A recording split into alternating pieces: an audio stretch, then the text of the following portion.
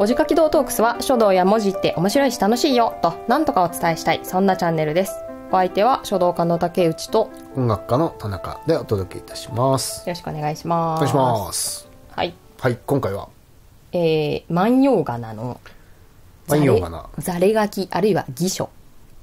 まあ戯れと書きます。うーん戯曲の戯ねあそうそうそうそう。うん。うん。戯曲っていうのちゃんと見たことないからよくわかんないそうだね。戯曲ってなんだろうね。うんなんだろうね。だからあのショショートコメディみたいなことじゃないの？ああなるほどね。うん。喜劇みたいな感じ、まあ短いいやこれ間違ってるとあれですけど。まあね、じゃあまあまあ、戯れる、ん。戯れる書って書いて、まあ、義書って呼んだり、ざれ書きって呼んだり。がざれ書き。の方がいいね。じゃあ、ざれ書きで。なんか流浪に剣士とかでもざれごとってね。あ、そうね。ざれ、ざれ。ざれ感がね。うん。ざれねそう。でさ、万葉仮名っていうのをさ、ひらがな会で、まあ、やったじゃないですか。うーん。えっ、と、まあ、ちょっとだけおさらい的に言うと、うん。その、例えばその時に例に出してたのが山が高いみたいなのをさ、さい最初は、その山が高いっていう6個の音うん。を、に、えっ、と、その音を表す漢字を当てると。うん、全部別の感じで、しかもそれも何でもいいんだよね。そうそうそうそう。ね例えば、やが、あの、何？なりという。なり字でだったりとかでもいいし、あの、弓矢の矢とか、なんか何でもいいんだよね。屋根の矢とか。そうだね。で、まは朝とかさ、まぼどぐのまとか、馬馬でもいいしがは我とか、例えば、がた、たは、えっ、と、多いっていう多いで。も田んぼの田でもいいし、うんみたいなね。かは、えっ、と、可能のかとか、うんえーいは、えっ、と、伊藤のいとかね。うんまあなんかそういうふうに、えっ、と、音を借りて、まあ、伊藤のい何個もありそうだけど、そうね、えっと、まあ、以上のいとか。伊藤のいとか、それたくさんあるな、みたいな。まあ、伊藤、なんかさ、あのココールセンターとかでさ、ん。なんか電話した時にさ、パスワードとか、なんか、ななんかあの、そうメールアドレスとかを伝えるときに、あの、例えば僕だったら、ゆういち田中なので、y.t. みたいなメールアドレスなんだけど、うん。そう、え、では復唱いたします。えー、なんつうのあの、Y、まあ思いつかないけど、野球の Y。あ、そうね、あるよね。なんかあるよね。野球、あ、その場合もさ、日本語が来ちゃうんだ。あわかんないけど、ちょっと思いつかなかったからヨーグルトとか、あヨーグヨーグルトの、ヨーグルト言いづらいね、でもね。ヨー、ヨーゴ Y、Y でしょ、あれ。ー。Y だね。うんうん。あヤングの Y とかね。あ、ヤングの Y みたいうんそう。そう T シャツの T みたいな。あるね。そうそうそうそう。ね、それで来るか、みたいなさ、単語来るときあるもんね。あ、あるよね。へえ、みたいな。マニュアル、お前んとこのマニュアル何なんだみたいな。でも独自のね、あの、発想なのかもしれないけど。で、伊藤のいっていう。まあでも、いいんじゃない？どの伊藤でも、意と読むものだったらいいみたいなね。まあまあそういうふうに、えっと、漢字の音を借りて、基本的には、あ例えば井、戸上のいだったら1個しかないのかな？基本的には。ああ、そうだね。まあ、井戸のいとかだったらうん1個に定まる。そうね。んで、まあなんかそういうふうに、えっと、漢字のねアルファベットは1個だけど。そうそうそう。まあでもそのシステムを借り借りて、ん。音がたくさん漢字にはあるから、で、それを借りて1音につき何何文字ものうん。漢字が当てられていて、うん。っていう仕組みになっていたのが、まあ万葉仮名万葉仮名というもので。で、たくさん1個の音にたくさんの字を当てるバリエーションを持ってるやつの方が、なんかあの、ヒップホップ的に言うとこうスキルが高い。まあまあそうね、やばすそういうふうに。ぎるスキルみたいうんな。やばすぎるスキル。感じ。そうだね。まあまあそこ、よろしくの話出せば早かったかな。あの、さ初めて聞く方にしてみれば。うん、よろしくとかをさ、例えば夜に、梅雨に、えっ、と、死ぬに苦しいって書いたりとかする、ああのシステムですよ。んまあ、要はね。で、えっ、と、まあ、例えば、よろしくだとなんかその死っていう字をさ、入れるのにさ、なんかちょっと、こう、さ、ヤン、ヤンキー文化的な感じでさ、うん。ちょっと威圧する意味で、なんか死ぬとか苦しいとかそういうのをさ、当てたりとかすることがあったかもしれないんだけど、万葉仮名の仕組みとしては音だけを借りるもの、ということなので、馬、えー数字の4に、えー、梅雨に、えー数字の4っていう、数字の死に、えっ、と、えー、九9、あの、漢じゃあ数字の9。もうなんで梅雨にしたんだよって6でいいじゃないかみたいな。そうだね。まあまあ。だから基本的には、えっ、と、音は、えー漢字の意味を、んえー含まないっていうのが万葉仮名の基本的なシステムうん。なわけなんですよね。で、う馬でさ、馬って読ませてたとしても、はい馬の意味はありませんよと。うん。馬みたいな山だから、山だと思ったから、その山っていう音の間に馬を当てたわけではない。うんただ山っていう音を表したかっただけだ。っていうのが基本なわけなんですけど、それってさ、含めちゃいけないって感じだったの？それとも、読む側は含まれてない？でも本当は含まれてるんだろうな。わかんないね。なんかその辺はグラデって、で、今からその話もグラデーションだからそういうことになってたんじゃないかっていう話で、その万葉集の中にね、恋っていう音、この恋愛の恋、あはいはい。恋っていうのを、その、書くときにね。そうそうそうそう、あの、えっ、と、っていう、その恋愛の恋という字をね、うん恋という音を表すのに、うん孤独に悲しいっていうふうにうーん。当てられた、あの、使い方が一番多いらしいんですよ。なるほど。で、万葉集ってさ、やっぱさ、色恋沙汰かさ、景色とかをさ、よく歌うじゃない。だから恋、まあ、恋、恋焦がれるみたいな感じで言うと、うん恋しさをみたいなさうん、そうだね。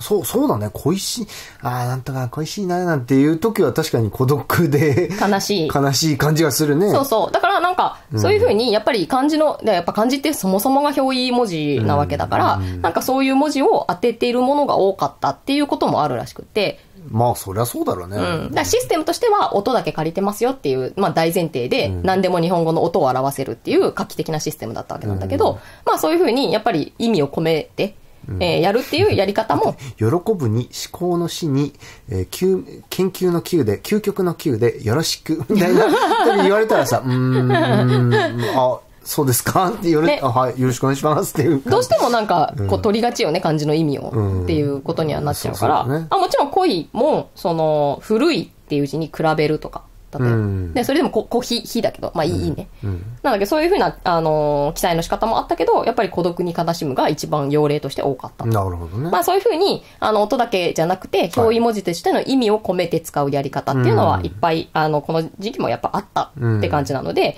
まあ、ぐ仕組みはそうだけど、うんグラデーションとして、えっ、と、意味を含めていた。うんっ。ていうのがあったというのがまあ前提事項で、はいで、その、ザレ書きっていうのはさ、うん。あのーまあなんかこう、シャレを重視して読ますみたいな。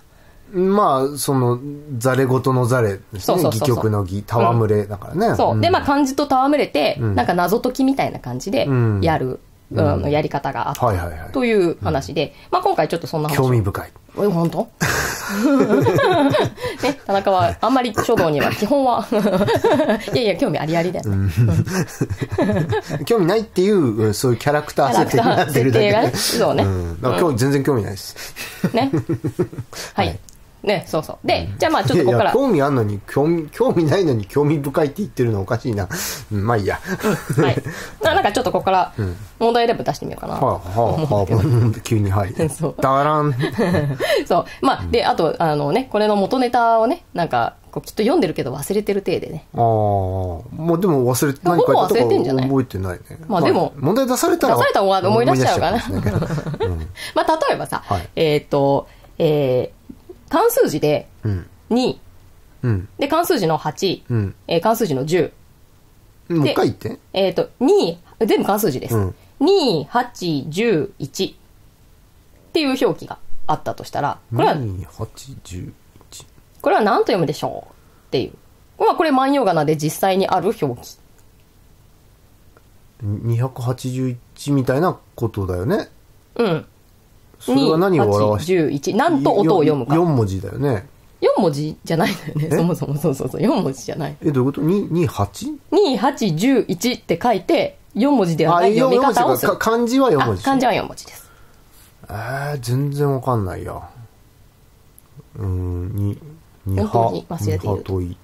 まあもちろん前後の関係がね、あの、あるとわかるかもしれないけど、ちょっと和歌だからさ、あんまりそれを言ってもあんまりわかんない。いや、全然わかんないです。そう想像もつかない。さで、これね、あの、ね、普通にさ、音として読むとさ、んなんか、に、にや、にやす、に、にやと一とかなんかそういうふうに読み、まあ、読んまい。ニヤトイかなってうん言ったけど、意味わかんないから引っ込めた。で、読んじゃいがちじゃないですか。で、これまあ正解は、にくくって読むと。思い出したこれで。にく？く。そう。えっ、と、わあーかった。くく81だから。そうそうそうそう。っていうような、なんかこう、もう、なんかさ、漢字の意味が、を、こう、持ってきて、その、あの、さっきのさ、孤独で悲しいみたいな感じでもなくて、もっと飛んでて、その、九九っていうものが、まあ、その、万葉の時代にもあったっていうことみたいなんだけど。あ、そう、それは僕なんかあれ、あの、どっかのサウナのテレビで見たよ。なんかその、九九が書かれた木簡が出土したみたいなニュースで。そう。うん。それで、なんかやっぱ、あの、戯れて、うん。その2、8、11って書いて、それをもう分解して、その因数分解だよね、それね。2九九？あの、9×9、うんで、2九九と読みますというふうにやって書いてるっていうふうな。なんか当時の、あの、掛け算九九って、81から下ってくんだよね、確かね。違ったっけ？ああ、なんかそうやって、なんか私も読んだ気がする。うん。だから、今よりも、九九九九80、の方が、うん、そうう、ん。い陰1が1みたいじゃなくて、九九81の方がみんなに、こう、し知ってるっていうかさ、ん馴染みがきっとあっただろうから、うんまあ、今の人が81を見るよりも、当時の人が81、あ、九九かなみたいな？っうん。て思う、うん、と、そのいう感じは、当時のがもしかしたらあったのかもしれない、まあそうだね。まあだからこ、こんなような書き方があった。はいはいでも、万葉仮名で書いてるのにさ、いきなりなんか、そのルールを度外したさ、そんなやつをぶっ込むみたいなさ、でもなんか、あ、面白いね、それ。まさにザレ書きみたいなえそうそうそう、もうザレザレみたいな感じよね。本当に。あ同じような仕組みで、その、16って書いたものを、うん。なん、これ同じ仕組みでいくと。獅子？そうそうそう、獅子って読ませたりとか、っていう、あの、ものも出てくるし、16って書いてるみたいな。獅子ってどういう時に使うの？ああの、動物の獅子。あ、へえ、とかね。いう時に、あの、音的に、あの、獅子が当たるじゃん。あ、これ使おうみたいな。16って書こうみたい16を食べて美味しかったみたいな。そうだね。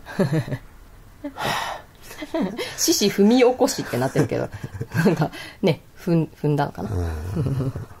そう。で、なんかそういう風にか書いたりとか。な。なんか、なんかあれだね。ちょっとなんか、ちょっとツイッターとかっぽい感じするね。まあそうだね。だからなんかやっぱ、えーなんか、うんその、俺、俺、さ、山とか散歩するんですけど、みたいな。なんか、口調的にはこういう感じだよね。なんか、そしたら、獅子の尻尾踏んじゃって、みたいな。で、これをツイッターに書こうと思った時に、16って書いちゃうみたいな。ね、だから、わかる、わかるでしょ？みたいな。みたいなね。うん。なんかそういうね、こうちょっと、はいま、マウント感があったのかもしれないね。ちょっとしたね。はいはい。うん。っていう。獅子にきって呼ばれるよね。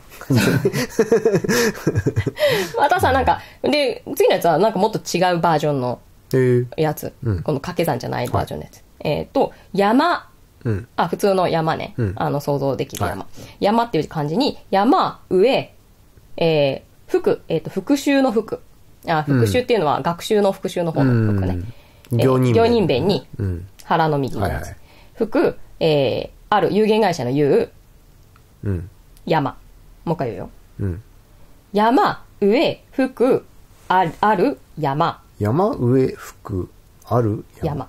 で、山送り仮名で、ばがつきます。山の上うん。に復習の服にに、ある、ある服がある山、服ある山ば。ばはひらがな。まあ、ひらがなっていうか、まあ、ちょっと便宜上ひらがな。いや全然わかんないですね ね、そうね。まあまあ、そう、そう、そうだと思う。いや、これまあ、なんか、あの、書いてみるとわかるっていうか、山の上にまた、またって読むじゃないですか。また、あの、ふ再び出てくるっていう意味の、あの、復習の服ってふ複数の服だからまた出てくる。また山がある。山っていう字の上にまた山があるっていう漢字は、出るあ。出るだねそう。だから、いでばって読むらしいんですね。田中がため息をついております。うんあのなななんか なんかそのあれだよねあのなんかこうそういう世界ってさ、うんあのなんか以前より申し上げておりますようにですね、うんあのえーいやこれは著作品だからって言って、えー次色紙なんてさ、うん。紙を足しといて足したのに書かないみたいな。さ足したえなじゃあ何のために足したのみたいな。とかさなんか、えーすごい、ま、ぐねぐね行が曲がってたりしてさ もっと詰めて書けばもっとちゃんと長い文章を書けたのにみたいな。まあ、だから、そういうことじゃないってことだね。うん。なんかこうそれもねだからそうやって「ああのあちょっと先出てるわ」みたいな時に「山。上、服、ある、山、場。だか。らさ、ああ、もう、あいつは一緒に飲むのやめようって。まあまあまあね、なりがちよねっていうか、まあ、あの、基本的にはやっぱさ、あの、牛乳買ってきてとかいうのにはさ、使わないと思うじゃん。きっとね。あの、その万葉人もね、万葉人って言わないと思うけど、あの、古代の人たちも、その、ね、メモ書きみたいなものにさ、晩ご飯ひき肉だから、あの、冷冷凍庫から出して解凍しといて、みたいな時に、山、上、いでば。絶対しねえ。みたいな。もう、もう、あの、うん、ハンバーガー今日なしね。まあなる、なるかなっていうねねうん、感じだから。まあだから、その余裕がある時の遊びとしては、あ、こうも書けるか、マジやられたわ、みたいな感じの感じだったんじゃない？ややられ、やられたっていうか、もうなんかイライラする。まあそういうね、そういう遊びだね。ざ、あまあざれ、まあまあそうそうざれ書きですから。そうそうそうだねざれたもん勝ちみたいなは。まあまあ貴族で暇だしね。そうそうそうそうそう、ざれたもん勝ちっていうことなので、まあそれはそれでよかったんじゃないっていう話で、なんかこういうふうな書き方が、まあすごくこうたくさんあ,、あるっていうか、あの、音を当ててるだけじゃないですよ、みたいな話があっただからもうだ。貴族のツイッターとかはもう500字くらいないと普通の文章が書けねえみたいな。そうね。イーロン・マスクさんも早く4000文字に対応してくださいよみたいな。そうだね。なんかそういう、あ、あ、そう。140文字だと、あの、普通に書いた場合の1行も書けないんですよね。だから、その、イデバとかがさ、あの、シシって書けばいいのに、16だっけ ?3 文字使っちゃって？みたいな。あ16は2文字。16、本当だ。うん、じゃあだから変わんないん変わんない。あそれは変わんない。それは変わんない。じゃあ文字数で言うとまあいいかなっていうまあ感じ。まあでも普通は16って読んじゃうな、みたいな。てか、その、獅子っていう漢字を使えば1文字なんだけどな。まあね。だからその時だってその漢字を当てるっていうのがまだない時にやってるっていうことだから。万葉がまあしょうがないねっていう話ね。まあでもなんか、その、なんだ漢字が入ってきたばっかりの時にさ、うんあの、まあやっぱ漢字と戯れる必要はあったんだと思うんだよね。まあそうだね。私のものにするっていうか、はいはいはい自国のもの、外国のものをうん自国のものとして、こう使いこなして、うん。こう、渡り、渡っていかなきゃいけないっていう時に、そうだよねん、やっぱりそういう、こう、ウィットっていうのは大事だったんじゃないかなっていう感じこ。れあ遊び倒すみたいな、ね。そうそうそう。だから使い、使い尽くして、んで、定型ができていくっていう話だから、まあ、そのぐらいの余裕がさ、ないと、やっぱ、その自国の言葉としてさ、漢字取り入れられなかったんじゃないかっていうふうにも思うから。だから獅子を表の意味を表す漢字はあるけど、ん。それは認識していても、それは獅子という見方ではないから、うん。獅子っていうことを言いたいときには、ん。何らか、やっぱりそ別の使い方をする必要があって、それが万葉仮名だったし、うん。万葉仮名のその、アレンジバージョンというか、うん。ちょ、ちょっとこう、なんつうの、こう、エスプリじゃない、上、ね、うん。なんかそういうさ、あの、ユーユーモアに富んだ表現としての、まあ、16とかってことそう、ね。そう。ん。で、まあなんかそういうことによって、あの、あ、これ16とも読む読むし、うん。でもありね。か、みたいな感じなので、うん。でもやっぱり、あのーまあ、ね、それは今では、その、間違いとされるというかさ、普通には読まないっていう話だから、まあそれは淘汰されたよねっていう話で、それは遊びで終わったけど、まあでも、その16っていう書き方は、まあその後にもやっぱ定着していたわけだから、まあね、定型を作るまでの、その、やっぱり戯れということで、ね。うん。とっても有意義だったんじゃないかなうん。と想像はできますけれども、まあ別に今話聞いても、まあちょっとイラッとするっていう観点もあるけど、まあ別に興味深いというか面白いことであるしね。うん、気持ち次第では楽しく聞けるんじゃないかとね、今お腹空いてるとかさ多分明太子食べたいとかある,、ねあるかもしれないから、あれなんだけど、明太子出しといてって言われて、あ出しといてって言えばいいのにさ、みたいな。明太子食べたい感がイライラを募らしてるみたいな山さ、上、服ある、山場、みたいな。バカバカバカみたいな。